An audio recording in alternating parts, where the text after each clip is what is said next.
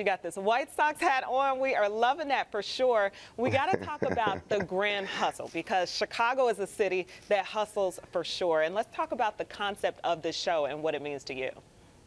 Uh, well, the show is basically a business competition show where we got the uh, 16 of the most uh, the most eligible hustlers to uh, compete for opportunity um, to to work alongside my team of executives on Grand Hustle and earn a six-figure salary.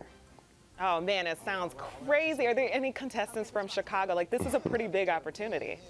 I believe it was. I believe it was. I can't remember exactly who, but it that Thursday uh, uh, at 10 p.m. on BET. I think y'all could tune in and find out. Well, we'll be tuned in. You know, Chicago has to root for its hometown. So tell me, what are some of the traits that you look for in the person who will win? Remember, I told you I, we've enjoyed seeing your career blossom, and you're a well-respected businessman on many fronts today. So what are you looking for in that next uh, successful person?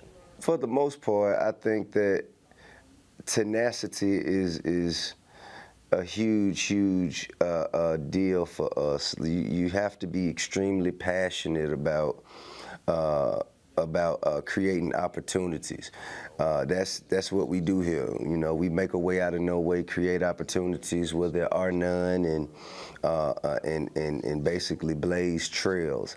but in being tenacious, you also have to have a certain level of accountability because if things don't go how you plan it, you know, you have to find ways to to create solutions instead of pointing the finger and passing the buck.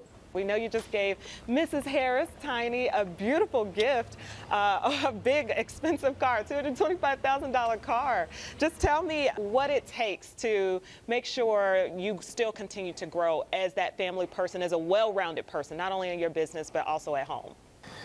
I mean, to be honest with you, I, I feel like whatever happens, uh, uh, within a relationship, I think that, you know, that's pretty much for the relationship for, for, the relationship of the people in the relationship. If you choose to share it, then I think what you share, you know, uh, should be observed and and you know appreciated, and then it's time to move on to the next thing. I don't think that that's gifts are nothing to dwell on in my in my opinion. I mean, over the years, we've you know we've both done our share of gifting. So you know, I don't think this this time is uh, any more any more of a reason to acknowledge than the last time or the next time. Well, T.I., thank you so much for your time. We're a fan of the show, we're a fan of the family, and we're certainly wishing you the best. And we're hoping for new music sometime soon. Thank you, T.I.